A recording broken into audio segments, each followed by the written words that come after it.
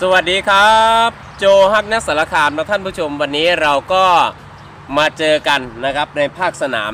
ที่เราจะต้องมาเจอกันวันนี้นะครับ เป็นสมุนไพรที่นะครับสามชนิดในการใช้ทาท่านผู้ชมอ่าฟังชัดๆนะครับสามชนิดนี้ในการใช้ทาเนี่ยอ่าโจก็จะบอกว่าเอาไปทำอะไรนะครับ ก็คือตาอ่าทาตามร่างกายของเราเนี่ยท่านผู้ชม ถ้าหากท่านผู้ชม เป็นงูสวัสดนะครับ แล้วก็เริมนะครับ วันนี้ 3 ชนิดพิชิต เกี่ยวกับเริมงูสวัสดนะครับ ไฟลำทุ่งขยุ่มเตียนหมานะครับ อิสุกิสัยเรามาทำความเข้าใจกันก่อนว่า สมุนไพรวันนี้นะครับมีอะไรบ้าง สมุนไพรชนิดแรกที่ผมจะนำเสนอก็คือนะครับสัมมงาท่านผู้ชม สมุนไพรชนิดที่ 2 ก็คือสมุนไพร ว่านมหาการนะครับ สมุนไพรชนิดที่ 3 ที่ผมจะต้องนำเสนอวันนี้ก็คือนะครับสนสสมุนไพรพญายอ หรือเสลดพังพรตัวเมียท่านผู้ชม วันนี้นะครับเรามาทราบกันก่อนว่า เริ่มกับงูสวัสดแตกต่างกันอย่างไร ก่อนที่เราจะใช้สมุนไพร 3 ชนิดนี้เพื่อไปพิชิตเกี่ยวกับโรคผิวหนังนะครับ โรคติดต่อไม่ว่าจะเป็นเริมงูสวัสดนะครับ เรามาพูดกันก่อนว่า เริ่มเกิดขึ้นได้อย่างไรและแตกต่างกว่างูสวัสดอย่างไร เริ่มจริงๆแล้วนะครับจะเป็นไวรัสชนิดหนึ่งนะครับท่านท่านผู้ชม และนะครับสามารถติดต่อได้จากคนสู่คน แม้แต่นะครับกินกับข้าวด้วยกัน แม้แต่สิ่งของที่ใช้ร่วมกัน ก็สามารถติดต่อด้วยกันได้ เริ่มเป็นไวรัสชนิดหนึ่งนะครับที่เกิดขึ้นตามอวัยวะ เพศนะครับอย่างเช่นในที่ลับนะครับ แม้แต่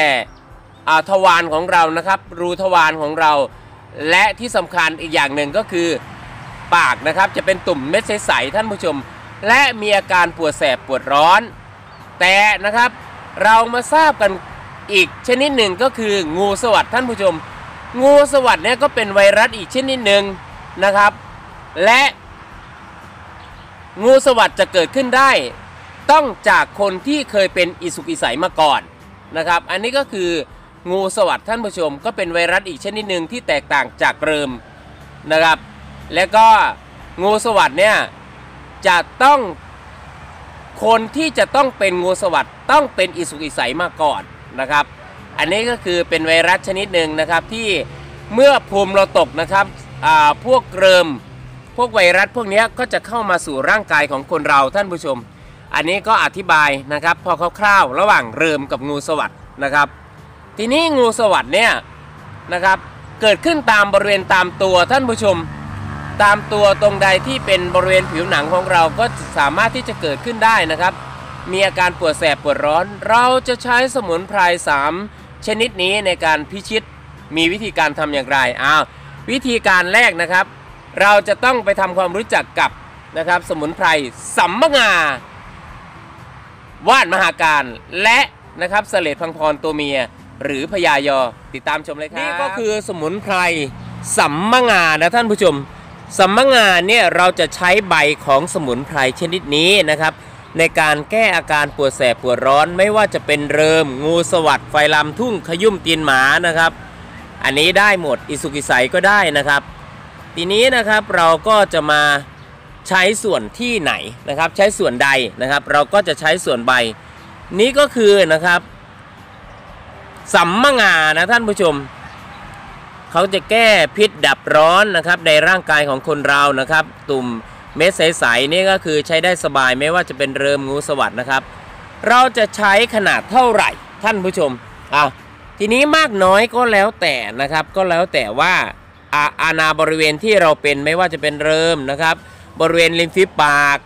บริเวณรูทวารแม้แต่นะครับอวัยวะเพศท่านผู้ชมไม่ว่าหญิงหรือชายนะครับ อันนี้ก็เช่นเดียวกันท่านผู้ชม เราก็จะใช้ใบสดๆนี่แหละนะครับ ในการเอาไปทานะครับทำอย่างไร เอาไปล้างน้ำให้สะอาดสักประมาณ 3-4 ใบก็ได้ท่านผู้ชม ไปขยำนะครับให้ละเอียดผสมกับเหล้าก็ได้ หรือไม่ผสมกับเหล้าก็ได้นะครับ เราก็ทำให้ละเอียดแล้วก็ไปทาบริเวณนั้นประมาณสัก 10 นาที ท่านผู้ชมอาการปวดแสบปวดร้อน ก็จะหายไปนะครับ เราจะใช้สมุนไพรสัมมงาท่านผู้ชม ส่วนเริมไอ้ส่วนงูสวัสดนะครับงูสวัสดก็เช่นเดียวกันท่านผู้ชม เราก็ขยำขยำนะครับอ่าผสมกับเหล้าหรือไม่ผสมกับเหล้าก็ได้ทำให้ละเอียด และก็ไปทาบริเวณที่เป็น อาการปวดแสบปวดร้อนก็จะหายไป ด้วยสมุนไพรสัมมงาด้วยการทานะครับ เอาใบสดๆ ขยำตำละเอียดก็ได้นะครับ นี่แหละครับใบสัมมงาท่านผู้ชม แล้วเราก็จะไปทำความรู้จักกันกับสมุนไพรต่อไปนะครับ เกี่ยวกับในการบำบัดเริมงูสวัสดนะครับไฟลามทุ่งขยุ่มตินหมาแม้แต่อิสุกอิสัยนะท่านผู้ชม โอเคนะครับ ไม่ว่าเด็กหรือผู้ใหญ่ก็เป็นได้เช่นกันนะครับ เป็นได้ทุกเพศทุกวัยท่านผู้ชม เริ่มงูสวัสดไฟลำทุ่งขยุ่มตินหมา สมุนไพรชนิดต่อไปก็คือนะครับ ฟ้าว่านมหาการนะครับผม สมุนไพรชนิดที่ 2 ในการที่จะมาบำบัดเกี่ยวกับ เริ่มงูสวัสดไฟลำทุ่งขยุ่มตินหมาแม้แต่อิสุกอิสัยนะท่านผู้ชม วันนี้เราจะใช้ในการทานะครับก็คือใช้ใบสดๆเลยนะครับ ใบสดๆไปผสมกับเหล้าหรือไม่ผสมก็ได้ แต่ถ้าผสมกับเหล้าก็จะได้ผลดีท่านผู้ชมอ่าสมุนไพรชนิดนี้เป็นสมุนไพรที่นะครับอ่ามีสรรพคุณมากมาย แต่สำหรับวันนี้ใช้ในการทา เราก็จะใช้ใบประมาณสักนะครับ2-3 ใบหรือแล้วแต่ว่าอ่าแผลเราจะเป็น มากเป็นน้อยนะครับ ขึ้นอยู่กับบริเวณแผลของเรานะครับ ไม่ว่าจะเป็นเริมงูสวัสดไฟลามทุ่งขยุ่มตีนหมานะครับ แม้แต่อีสุกอีใสท่านผู้ชม อาการปวดแสบปวดร้อนนะครับ ก็จะหายไป เพราะว่าเป็นสมุนไพรในการขับพิษนะครับ เป็นสมุนไพรในการขับพิษได้อย่างดี นี่แหละครับสมุนไพรว่านมหาการนะครับ ทีนี้ว่านมหาการเนี่ยท่านผู้ชมเรามาทราบกันอีกสักนิดหนึ่งว่าว่าว่านมหาการเนี่ยมีแบบหัวและก็แบบแบบไม่มีหัวก็มีนะครับ ก็ใช้ได้ทั้งหมดนะครับ อันนี้ที่โจโชนี่ก็คือใบว่านมหาการที่ไม่มีหัวนะครับ พันนี้จะไม่มีหัวท่านผู้ชม นี่แหละ ลักษณะของใบนะครับ เราก็จะได้เห็นชัดๆอะใต้ใบเป็นอย่างไรนะครับ ใต้ใบก็สีเขียวเป็นพืชอวบน้ำนะนะครับ แล้วก็เวลาทาเข้าไปท่านผู้ชมไม่ว่าจะเป็นเริมงูสวัสดไฟลำทุ่งขยุ่มตินหมา แม้แต่อิสุกอิสัยเนี่ยนะครับ ก็จะเย็นนะครับ อาการปวดแสบปวดร้อนก็จะหายไปนะครับเอาเรามาชมดอกเขาสักนิดหนึ่งนะครับ ดอกเขาจะสีเหลืองๆเนี่ยท่านผู้ชม เอาละนะครับ อันนี้ก็คือดอกของว่านมหาการนะครับ อันนี้โจก็ได้ทำการปลูกไว้เพื่อทำการ ศึกษาแล้วก็ถ่ายให้ท่านผู้ชมได้รับชมกันนะครับ ว่า 3 ชนิด พิชิตเริมงูสวัสดไฟลำทุ่งขยุ่มตินหมา แม้แต่อิสุกิสัย ชนิดต่อไปท่านผู้ชม เราก็จะไปทำความรู้จักกันกับสมุนไพรพญายอ หรือเสลดพังพรตัวเมียนะครับผมสำหรับว่านมหาการวันนี้ สมุนไพรชนิดต่อไปนะครับ ชนิดที่ 3 วันนี้สำหรับในการมาพิชิต เริมงูสวัสดไฟลำทุ่งขยุ่มตีนหมาแม้แต่อิสุกิสัยนะครับ เป็นสมุนไพรนะครับยาเย็นนะครับที่เราจะต้องมาปรับร้อนกันนะครับ สมุนไพรที่ว่านี้ก็คือนะครับพญายอนะท่านผู้ชมอ่านี่พญายอ เราจะใช้ส่วนใดเราไปทำการถ่ายให้ท่านผู้ชมได้รับชมกันเลยนะครับอ่านี่แหละครับ นี่ก็เป็นใบของนะครับสมุนไพรพญายอหรือสมุนไพรเสลดพังพรตัวเมียที่เขาเรียกกันนะครับ ทีนี้นะครับสำหรับพญายอท่านผู้ชมเราก็จะใช้ใบอันนี้ต้นไม่ค่อยสวยเนาะเดี๋ยวเราไปอ่าเดี๋ยวเดี๋ยวไอ้ที่ผมจะพูดถึงนี้ก็คือเราจะใช้ส่วนใดนะครับ เราก็จะใช้ส่วนใบท่านผู้ชมนี่แหละนะครับ เดี๋ยวโฟกัสสักนิดนึงนะครับ เราก็จะใช้ส่วนใบนะครับ ไปล้างน้ำให้สะอาดนะครับใช้ใบประมาณแค่นี้ท่านผู้ชมอ่า